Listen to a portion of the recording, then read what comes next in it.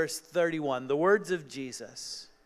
Jesus said, When the Son of Man comes in his glory, and all the angels with him, he will sit on his throne in heavenly glory. All the nations will be gathered before him, and he will separate the people one from another, as a shepherd separates the sheep from the goats.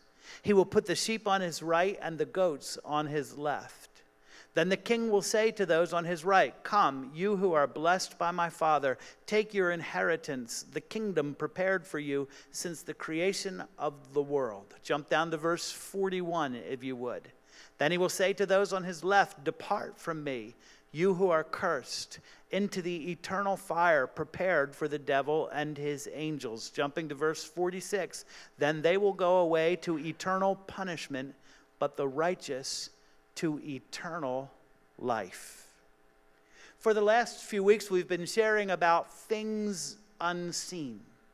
Paul said, We fix our eyes on the things which are not seen. For the things which are seen are temporary, but the things which are unseen are eternal. Beyond this physical world that we can experience with our senses, there is an unseen realm. It's populated by spiritual beings, by angels, both holy and fallen, and demons. We've been talking about those for the last few weeks. Heaven is in the unseen realm, and so is hell. Do you know, in over 20 years of preaching the gospel, I have never before given a sermon entirely on hell. If this is your first time here, if you've never heard me before, you hit the jackpot today. All along the way, I've affirmed the reality of hell. I've pled with people to embrace Jesus and escape hell, but I, have never devoted an entire sermon to taking an in depth look at hell. Do you know, in the last 20 to 30 years, there has been a steady trend towards making light of heaven and hell among believers and unbelievers alike. Among unbelievers, hell is just a big joke. One popular notion is that hell is going to be one giant pyrotechnic dance party, an ongoing orgy where hedonists can enjoy every sort of vice free from the criticisms of prudish, Bible thumping Christians. Let them go on and sit on a cloud and play a harp if they want to. I'd rather go party with the devil in hell.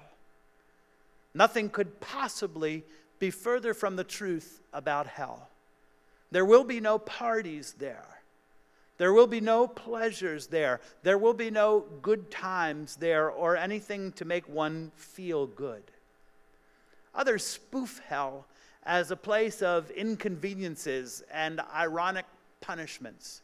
There was one funny commercial a little while back ago where a middle aged man dies and he is seen, shown to his delight a beautiful, hot sports car and he's all ready to get into it. And then he is turned around and he discovers that his eternal punishment is to drive a minivan forever. As a middle aged man who drives a minivan, I can totally relate.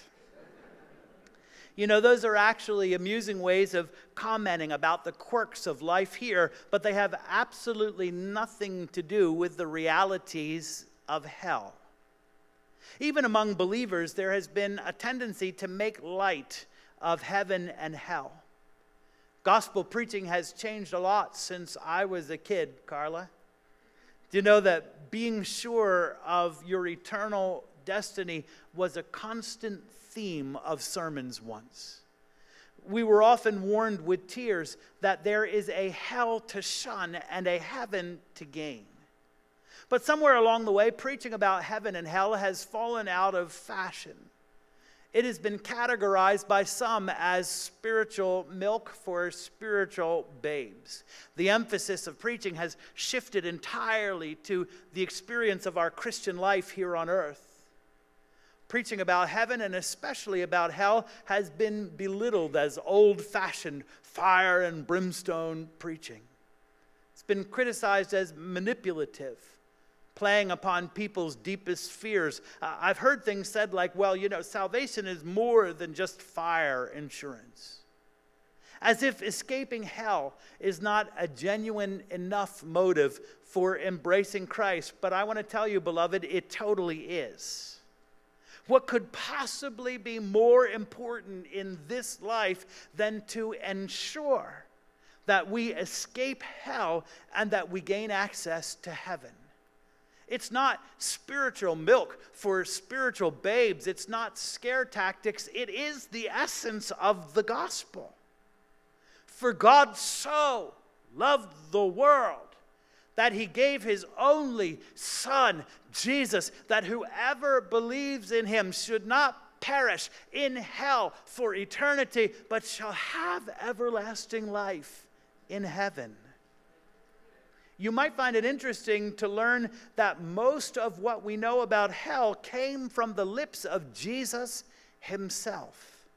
And that makes sense the idea of a hell that involves some kind of eternal punishment at the hands of a just and holy God is so profoundly difficult for us to handle emotionally that the only person who would have enough authority to convince us of the reality of such a place is Jesus himself.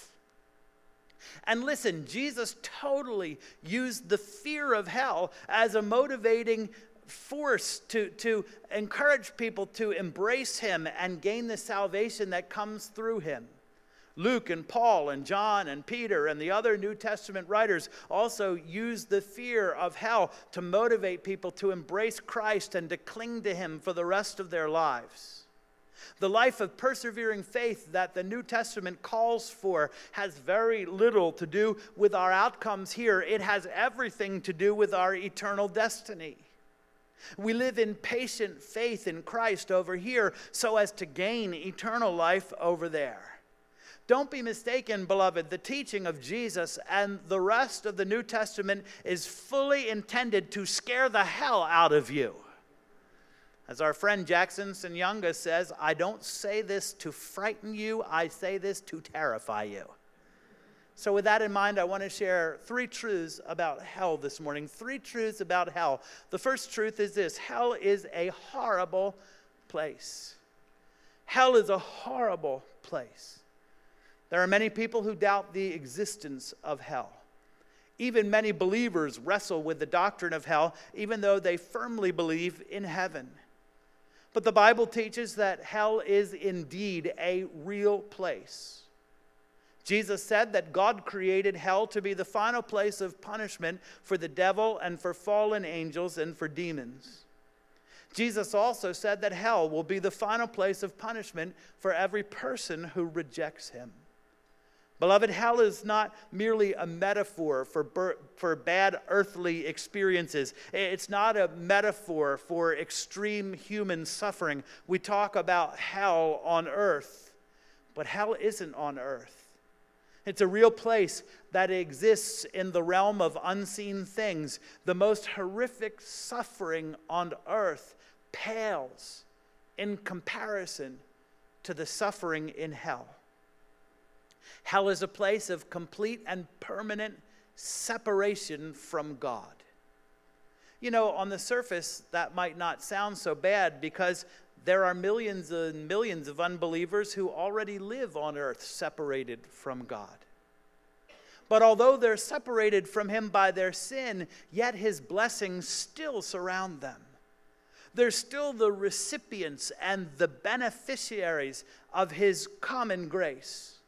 Paul preached about that in Lystra and in Athens. Even though people are separated from God, he still extends his love and his care to them. God has given the gift of life to every man. He's given them a country and a place to call home. He's given them a family and a circle of friends. He's given them provision. Jesus said that God sends the blessing of rain on both the just and the unjust. God has given every man the light of human consciousness and conscience. He's given every man a measure of faith. While they walk in darkness, they still have some light that is derived from God. We're all recipients of those blessings and fully reliant upon them, whether we realize it or not. Paul said God did this so that perhaps men might reach out and touch him because he's not far from any one of us. Yet, in spite of all these tender mercies, in spite of all these loving kindnesses and care, people don't reach out for God. They're not grateful. They're not thankful. They show him no honor. They offer him no worship. They give him no obedience. The suffering here on earth cannot begin to compare with the extreme suffering in hell because no matter how severe earthly suffering is, it is still tempered by God's mercy. Even though unbelievers are, are separated from God by their sin, still there is a sense in which He is with each one of us. In Him we live and move and have our being. In hell, all such tendernesses all such blessings, all such loving mercies will be completely removed. And we have no concept of how horrible a place like that would be. Even the concentration camps can't compare. Even the killing fields of war can't compare. Even the savage brutalities of guerrillas and dictators can't compare. Hell is a place of extreme mental and emotional anguish. Let's dispel this notion that heaven will be boring and hell will be fun. Jesus said that in hell there will be weeping and wailing and gnashing of teeth. It's a place of unbearable sorrow that is inescapable. Lost souls in hell will suffer in utter isolation. Jesus described hell as the state of outer darkness. Have you ever experienced complete darkness? I mean, can't see your hand in front of your face darkness? Last spring, Denise and I took the kids on a tour of an abandoned gold mine in Arizona. And our guide explained to us that each miner was rationed one Roman candle per day. The men worked in teams of two, but they would only burn one candle at a time so that both of their candles might make it through the end of their shift. And to conserve their candles, at lunchtime they would extinguish the candle and they would sit in utter darkness. Our guide switched off the lights for a minute to give us a sample of what that felt like. It was the longest minute of my life. Lauren grabbed my hand and about squeezed it right off the end of my arm. Utter darkness is terrifying. It's immobilizing. All around us, there were pickaxes and lanterns and samples of old mining tools. And in the dark, we didn't want to move a muscle for fear of running into something or tripping over something. That's what hell is like. The Bible calls it gross darkness. But you know, our experience in the mine shaft doesn't even begin to compare because we had the comfort of knowing that the lights would come back on again. We had control over the darkness, but in hell, souls exist in total darkness forever and ever. They have eyes that continually peer into the blackness, but they will never see anything again. The lights will never come on again. The darkness will never diminish. Our one minute in the mine doesn't compare either because even though we couldn't see each other, we were still comforted by each other's presence. I could still feel Lolly's hands and she could feel mine. We could still hear each other and encourage one another. But hell is not like that. Outer darkness is the state of utter isolation. There is no friendship in hell. I grew up watching the sitcom Laverne and Shirley. Anybody old enough to remember that show? Laverne and Shirley used to have a little ditty that they sang to each other as besties. If in heaven we don't meet, side by side we'll bear the heat. And if it ever gets too hot, Pepsi Cola hits the spot. But can I tell you, that's not what hell is like. Lost souls in hell will suffer alone without ever knowing again the comfort of human companionship. There will be no interactions of any kind with another person. There will be no communication. There will be no one to hear you, and you will hear no one. There will be no human touches.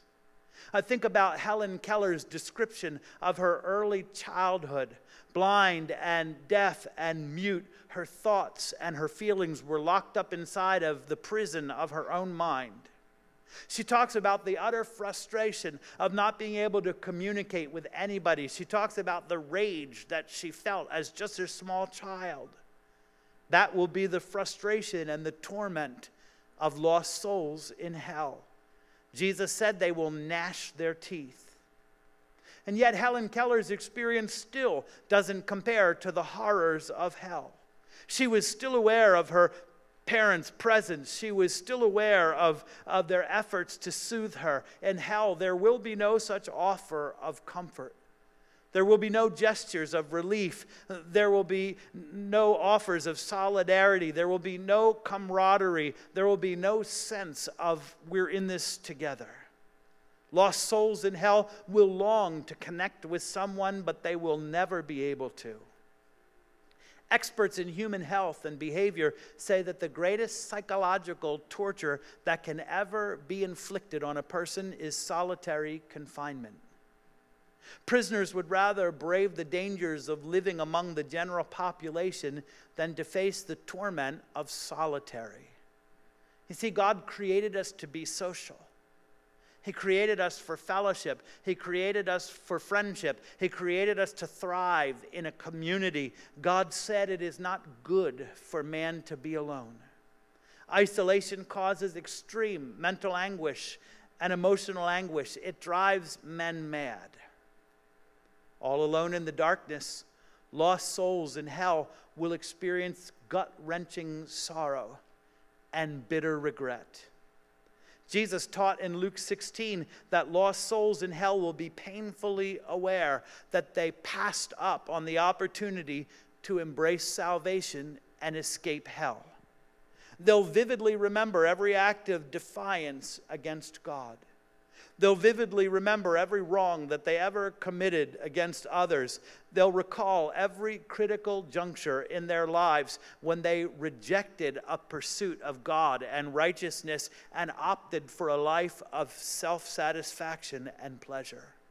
They'll remember every time that they turned a deaf ear to the gospel. They'll be keenly aware of every instance when God tried to get their attention, when He tugged on their heart, when He wooed and He warned but they refused him.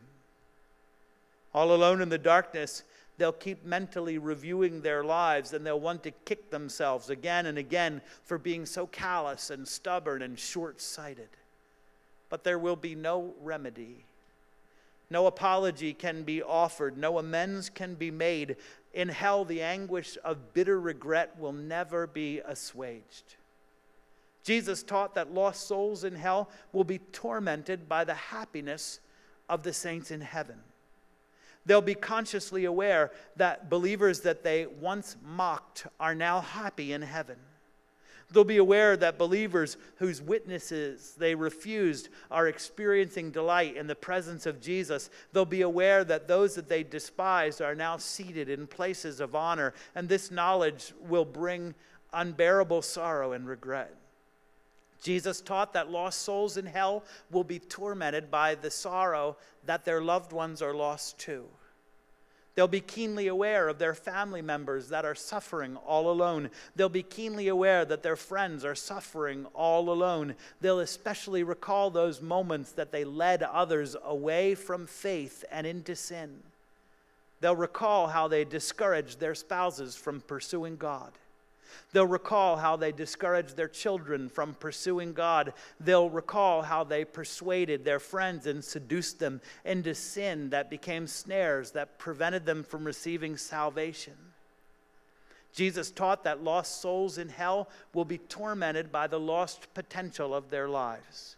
They'll realize all their lives could have been and the good that they could have done if only they had accepted Christ. The utter waste, the utter ruin of their lives and the lives of so many others will cause agonizing regret.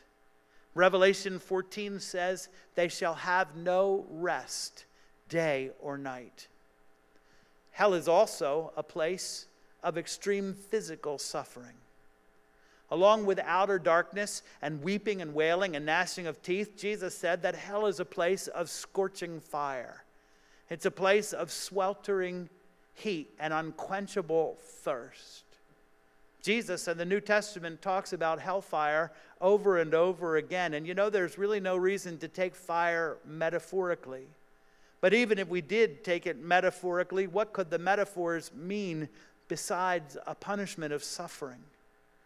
To be honest with you, the reality that those symbols point to are far worse than the symbols themselves. Jesus said at the end, there will be a resurrection of all the dead in immortal bodies that are capable of feeling pain. The wicked will be cast into hell. Externally, their flesh will constantly burn but never be consumed. Internally, they'll be devoured by worms. Jesus said, The fire is never quenched, and the worms that eat them will never die. Revelation says, The smoke of their torment will never go out. Hell will be full of putrid smells burning flesh and sulfur and acrid smoke. You say, Pastor Glenn, you're trying to scare us. Yes, yes, I am. Hell is also a place of terrifying demonic torment. Jesus said in Matthew 18 35 that lost souls in hell will be turned over to be tormented by demons. I believe this will be both mental and physical. I believe that they'll taunt lost souls again and again and remind them of their stubborn stupidity and their missed opportunities and their failures. In utter darkness, they will claw and bite and thrash and terrorize. Hell is a place of varying degrees of punishment. Jesus said that hell will not be the same for everyone. Some will receive more, punish, more severe punishments than others. You know, we talk about the fact that all sins, whether great or small, render men guilty before God, and that's true. All men are equally guilty of sin and in need of salvation, but not all men are equal in their guilt. Just like there are degrees of honor and reward in heaven. Wouldn't you rather talk about heaven? I'm going to talk about heaven next week. It's going to be glory. In fact, I want you to do something. I want you to, if you can remember, I want you to wear blue. I want you to wear something bright blue next week because blue is the color of heaven. Just like there are degrees of honor and reward in heaven, so there will be degrees of punishment in hell. Punishment in hell will vary according to people's deeds in this life. It's true that we cannot be saved by works, but works are not immune to God's judgment. Solomon said, God will bring every deed into judgment, including every hidden thing, whether good or evil. Jesus said in Luke 12, verses 47 and 48, that some in hell will be beaten with fewer blows and some will be beaten with more blows. Hell will be very hot for Hitler. Hell will be hot for Stalin. Hell will be hot for Idi Amin, who slaughtered millions and millions of his own people. Hell will be hot for Pol Pot, who slaughtered millions in Cambodia. Hell will be hot for Saddam and Osama. It'll be hot for Gaddafi and Kim Jong il and Bashir Assad. Jesus said hell will be hot for people who abuse and violate children. He said that it would be better for them if they had never been born. Hell will be hot for people who seduce others into sin. Hell will be hot for pimps and pushers. The Bible says that people who held positions of leadership and authority will be held into a greater account. Politicians who looked straight into television cameras and lied through their teeth will be held more accountable. But lest we get smug, church, there's another sobering truth punishment in hell will vary according to the amount of spiritual light that people had. Jesus said that those who receive more spiritual light will be held more accountable. He told the people of Bethsaida and Chorazin and Capernaum that they would receive more severe punishment than the people even of Sodom and Gomorrah because they had the light of Christ's miracles, they had the light of his teaching, they had the, the joy of his presence, and still they rejected him. The wicked people of Nineveh repented, but the holy people of Jerusalem would not. Jesus said it would be better for Judas if he had never been born. Those who have heard the gospel more often will be held accountable than those who did not. And listen, those who preach the gospel and lead the church, but live secret lives of unfaithfulness to Christ will be held in greater account. That scares the hell out of me. Beloved, listen, hell is no joke. It's nothing to make light of, it's nothing to minimize or ignore or dismiss. Hell is a horrible place. Three truths about hell. A second truth I find hell is a necessary place. Hell is a necessary place. You doing all right this morning? Can I get you anything? You need a little lemonade, a little. They asked for coffee in the first service. All right, listen. Hell is a necessary place. Without a doubt, hell is the most difficult truth in the entire Bible. Through the history of the church, Christians have struggled with hell. Some church fathers and theologians have offered alternatives to the biblical doctrine of hell along the way. But let me just say, it does not matter what anyone else has said about hell. All that matters is what Jesus and the Bible say about hell.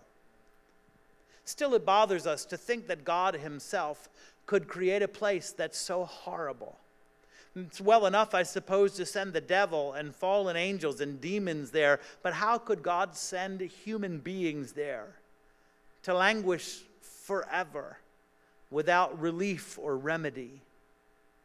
What about all the people that seem to us like basically good people but don't know Jesus? I mean, Hitler we can understand, Stalin we can understand, but what about my neighbor? What about my coworker, the, the people around me that are basically salt of the earth kind of people? How could a loving God send innocent people to hell? You know, that's a, a frequently asked question. But if you think about it for a minute, you might realize that such a question is outrageously presumptuous. For one thing, that question presumes that we have either the right or the ability to examine God.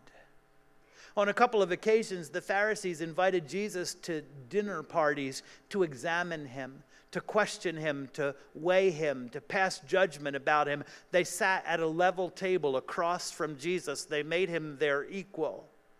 As if men have ever had the right to make God the subject of our intellectual inquiries as if God could be measured and weighed and understood and vindicated and approved by any rubric of our making. God said, My ways are higher than your ways, and my thoughts are higher than your thoughts. Job had some troubling questions for God. So God came and he said, Okay, Job, you want to go mano a mano with me? Bring it, bro. Where were you when I laid the foundations of the earth, when I marked off its dimensions, when I set its footings and laid its cornerstone while the morning stars sang together. Will you contend with the Almighty? Will you correct him? Will you accuse God of injustice? Yeah, after about two chapters of talk like that, Job was shaking in his boots. He said, Surely, God, I spoke of things that I do not understand, things that are too wonderful for me. God said to Isaiah, Does the clay have any right to say to the potter, Why are you doing this or why are you doing that? Paul recalls those same words in Romans 9 when he's talking about God's dealings with men. He said, But who are you, a human being, to talk back to God? Shall a created being say to its creator, why did you make me like this? How could a loving God send innocent people to hell? That question presumes that God is capable of doing something wrong. But the Bible says that God is absolutely incapable of doing anything immoral. He's incapable of doing anything unjust. He's incapable of acting outside of his love, even when his actions seem severe to us. He's incapable of acting in any way that's inconsistent with his own divine character and nature. He's incapable of making a mistake. Why is it that we're so quick to defend the moral character of men who have only been bad, but doubt the moral character of God who has only been good? That's good preaching right there. You ought to get the tape because you missed it the first time. Listen, before the severe judgment that fell on the city of Sodom, the angel cried out, Will not the righteous judge of all the earth do right? When the devil and his fallen angels and demons are thrown into hell in Revelation, the angels cry out, All his judgments are true and just. David said, The Lord is righteous in all his ways. From the beginning to the end, every action of God is just, every action of God is fair and right and good. Listen, we would do well to remember that when we pose certain questions or log certain complaints or levy certain charges, we need to be careful that we're not making an indictment against the character of God. If people go to hell, then God is right and just and good in his judgments that resulted in their placement there. How can a loving God send innocent people to hell? That question presumes that there is some kind of conflict between God's love and his justice as if punishing the sins of mankind is an unloving act on God's part, but it isn't. Beloved, the holiness of God is not subservient to his love. God is holy just as he is love. He is not more of one than the other, he is equally both. He is not sometimes loving and sometimes just. He is both at all times, and his love and his holiness are not at odds with each other. When God is just, he is being loving. On the cross, both the love and the justice of God were on full display. That's good preaching right there. How could a loving God send innocent people to hell? That question presumes that innocence is a possibility for some and that we could identify them. The Bible says, In Adam, all have spiritually died, all have sinned and fallen short of the glory of God. There is no one righteous, no, not one. We say, oh, but he's such a good person, but she's such a good person. But the Bible says all our righteous deeds are like dirty rags. I think we've forgotten that there's a difference between valuable and good. The Bible says that all people are infinitely valuable, but people are not inherently good. Who are we to say that anyone is innocent or that someone may be innocent when the Bible clearly says no one is innocent? Listen, even as believers, we, we hold on tightly to sentimentalities that are at odds with what the Bible says. We say, but she has such a good heart. How do we presume to know the contents of anyone's heart when God says that He alone knows the heart? In fact, the Bible says in Jeremiah, we don't know our own hearts. We're easily self deceived. So maybe the real problem is that we just don't take sin very seriously. Maybe the real problem is that we don't regard sin as the affront to God that it is. Maybe we don't really believe that its consequences are deadly serious. So the question of innocence is a non starter. How could a loving God send innocent people to hell is not a legitimate question. Perhaps a legitimate question might be how could a loving God send ignorant people to hell? What about those who have never heard the gospel? I would just give you three things very quickly. First, as we've already said, God always does right, and He's only capable of doing so. Secondly, we've said that God judges people according to the light that they had, and how he does that is his business. And thirdly, I would point out that Paul said no one has a valid excuse for being lost. Only God knows in what ways he's moved in the hearts of every man and woman. Only God knows how he has whispered and wooed and warned. Only God knows what messengers he has sent. There are two deviations from Orthodox Christian doctrine about hell that are rapidly becoming popular in America among evangelicals. One of them is universalism, and the other is annihilationism. Universalism says that all men will be saved in the very end. Teaches that the blood of Jesus was effective to forgive the sins of the whole world, and that all people will eventually come to realize that either in this life or in the next. One variation on universalism is the idea that hell is a real but a temporary place of punishment. That the purpose of hell is to bring people to repentance, and before the great white throne of judgment, everyone will realize that Jesus is Lord. Can I tell you the words of Jesus don't permit it? One popular version of annihilationism also sees hell as real but temporary. It says that after the final judgment, the wicked will simply cease to exist, but the redeemed will live on forever and ever in heaven. But listen to me, beloved, the contrast that Jesus makes is not between eternal life versus non existence. The contrast that Jesus makes is between a destiny of eternal blessing in heaven or a destiny of eternal punishment in hell. Hell is necessary. It's necessary to make sense of the words of Jesus and that of the rest of the Bible. If hell is not what we have said, then Jesus was mistaken. He was wrong. Hell is necessary to complete the story of fallen creatures. It's necessary to punish Satan for his personal rebellion against God, for his leadership of a revolt in heaven, and for his seduction of mankind. It's necessary to punish the fallen angels and their, the demons for their rebellion against God and their cruel harassment of people. It's necessary for God to punish men for their rebellion against Him and for leading other men in rebellion. It's necessary for Him to punish their unrepentant sins against Him and against others.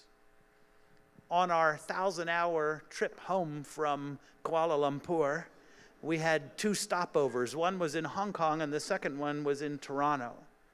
And while we were waiting for our connection, I heard the most horrible story. Two married people had an affair with one another. And they decided that they wanted to be together permanently, but they wanted to find a way for each of them to retain all the assets from their existing marriages. So they got an idea and they both booked cruises with their spouses on the same ship. And while they were at sea in international waters, they helped one another eliminate their spouses. Both spouses disappeared without a trace. And the Canadian government is in a conundrum because they're unsure about how to investigate and prosecute. They don't know if anybody has or who has jurisdiction because it happened in international waters. It appears that they may get away with it, but hell is hot.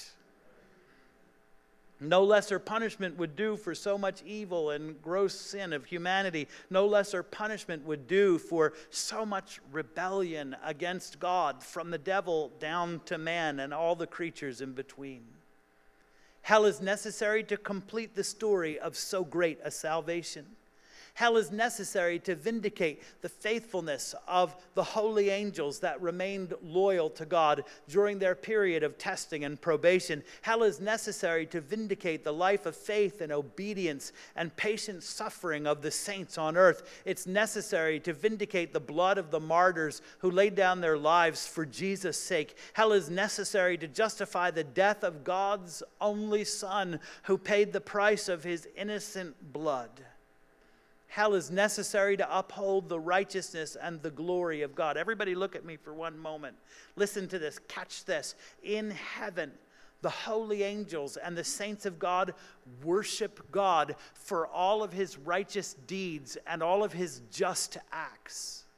God's just judgments evoke in heaven awe and reverence and honor and worship among us, his people here on earth. Let it be on earth as it is in heaven. Let's let God's righteous deeds and his just judgments inspire on our part more love for him and not disdain or disgust or doubt.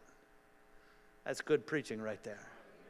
Three truths about hell hell is a horrible place, hell is a necessary place, and finally, this hell is a forever place. Hell is a forever place. Worship team, come and help me.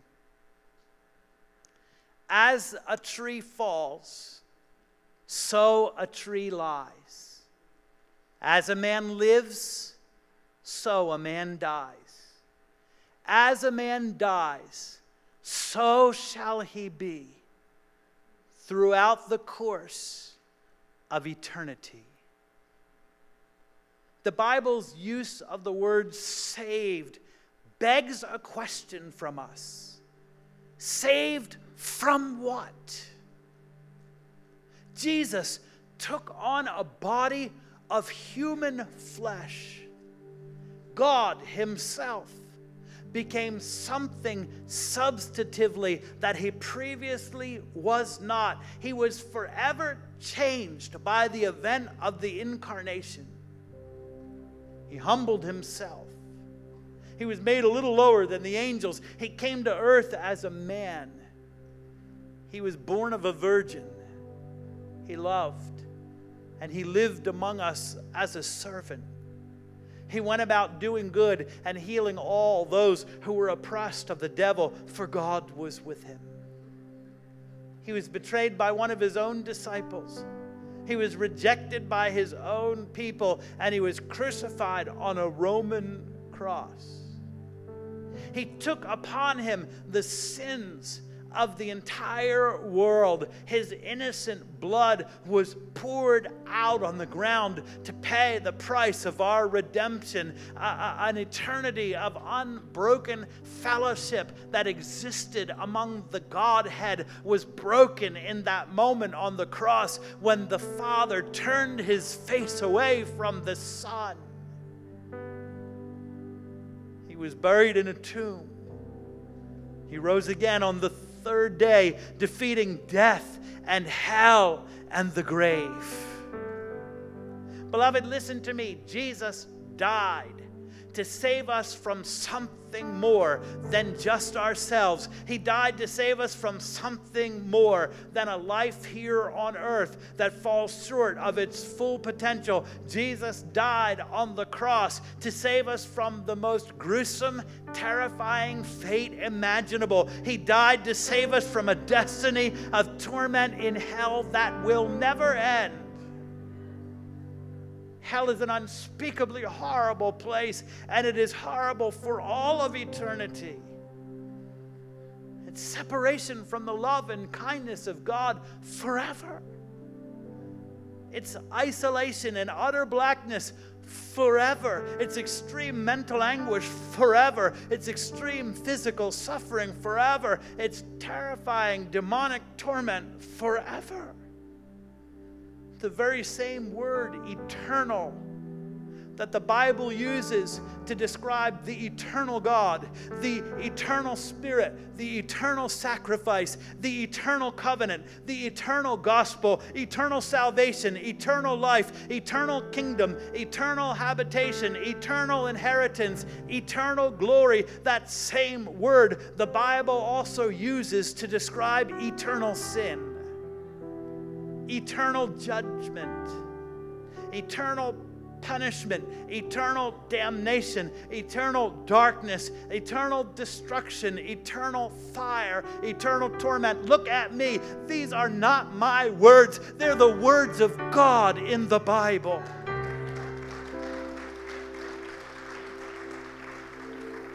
Paul said he will punish those who do not know God and who do not obey the gospel of our Lord Jesus Christ, they will be punished with everlasting destruction and shut out from the presence of the Lord. Revelation says the smoke of their torment will rise forever and ever. They will have no rest day or night. Jesus said the worm that eats them will never die, and the fire will never go out. Three horrible truths about hell. It's a horrible place, it's a necessary place, and it's a forever place. So, what shall we do with hell? What shall we do with the most sobering doctrine in the entire Bible, very quickly, three things. Number one, the truth about hell should motivate us to make our salvation sure. Peter said, Make every effort to make your calling and your election sure. Paul said, I believe in God that there will be a resurrection of both the righteous and the wicked, so I strive to always keep my conscience clear before God and man. The truth about hell should motivate you to make sure that you know, that you know, that you know that you will escape hell and you're going to heaven. There's only one way to do that that's through Jesus. Listen, you can't work hard enough, you can't do enough good deeds. You can't try hard enough. There's only one way. It's through putting your faith in Jesus and receiving the washing that He gives. Here's the good news you don't have to go to hell. Jesus has made a way to heaven. What shall we do with hell? Number two, the truth about hell should make us infinitely more grateful to God every day for our salvation. Can I tell you, we're an ungrateful lot. We're a complaining bunch. We get set back so easily. The truth of what God has saved us from should make us thank Him more. It should make us more joyful. It should make us worship Him more. You know, it should make us more steady in the storms of life. I know that devastating things do happen.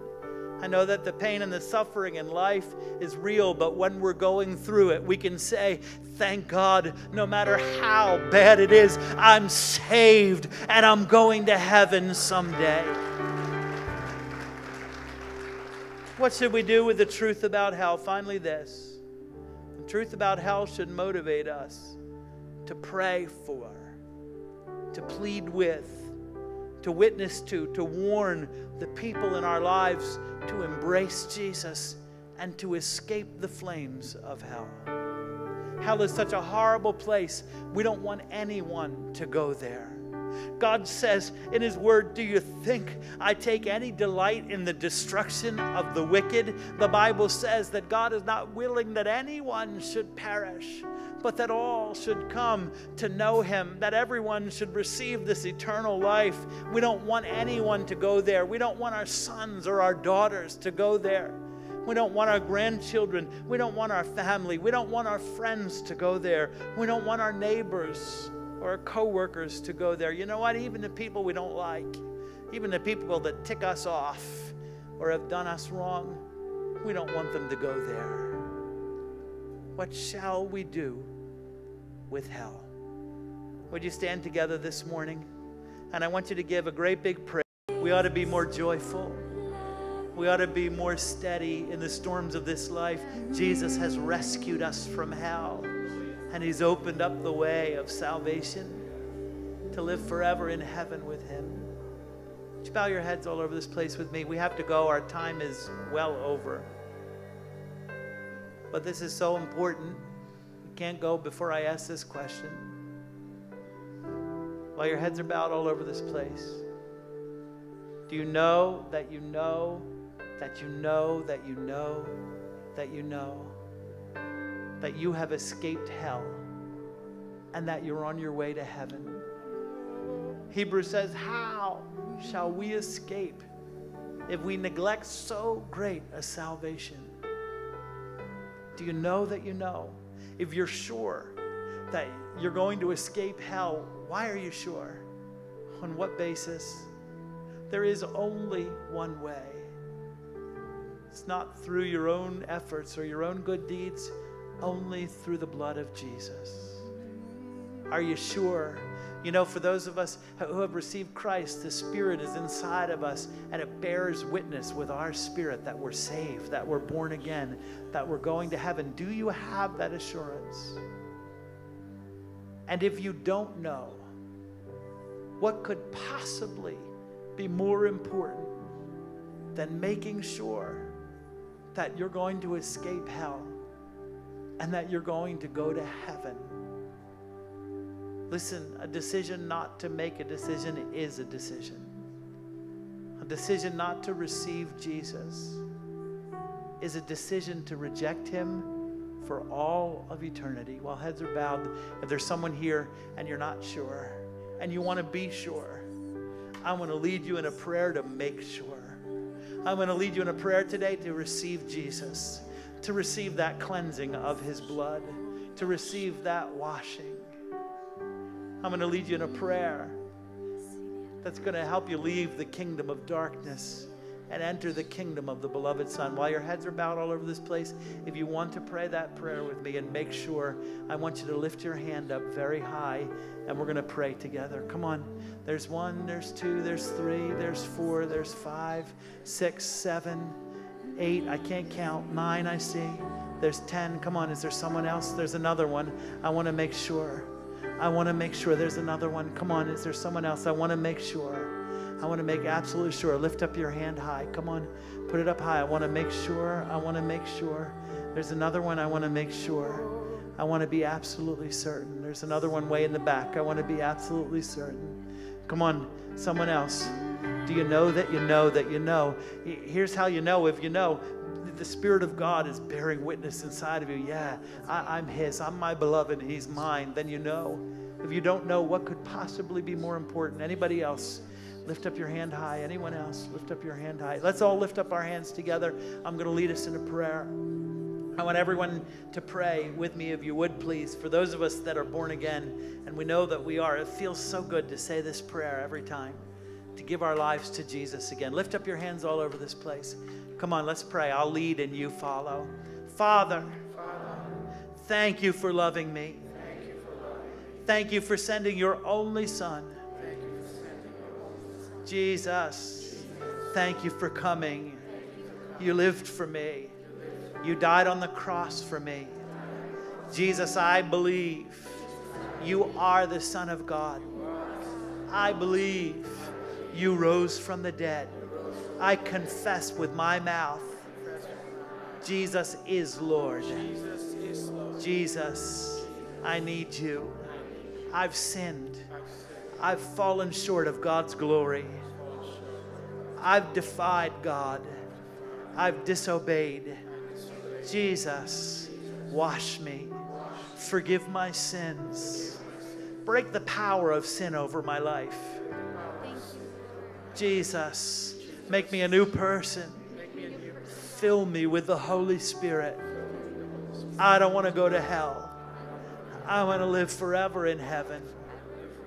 Jesus, I receive you now as my Lord and the leader of my life.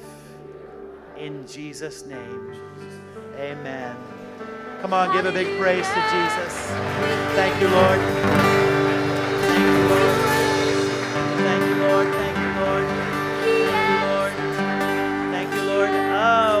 So sorry that there's another service because I feel like having a big party right now. Thank you, Lord. We'll do it at the end of the next service. All right, listen to me.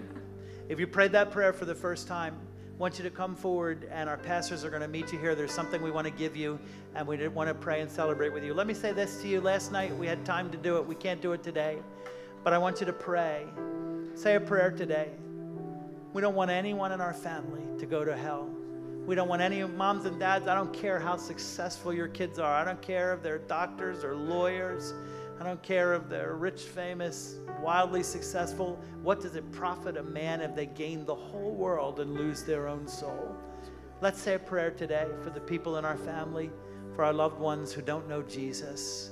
Let's pray. Listen, James says that you were saved to be the first fruits in your family.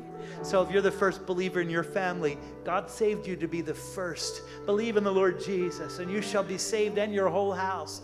God saved you to be the first fruits, and God's going to give you the grace, the wherewithal. He's going to give you the, the opportunity to speak a word, to sow a seed of salvation. And I want you to just start by praying for that right now. So come on, put, join your hands together. Please don't forget the offering for our dear friend Melissa. Let's bless her real good and give the best offering that we can to help her with her uh, next leg of her journey in California. Meet Pastor Bobby. He's wearing a bright purple shirt, so find him out there and just say hi to him. Let's pray. Father, thank you now for this time in your presence. Lord, as we go our own way, I pray the cloud of your presence would envelop us. Lord, let your protection surround us. Let your provision accompany us. Let your providence lead us and your peace encircle us until we come together. And everyone said, Amen. God bless you, everyone. Have a great week. Next week, we're going to talk about heaven. Wear something blue next week. God bless you.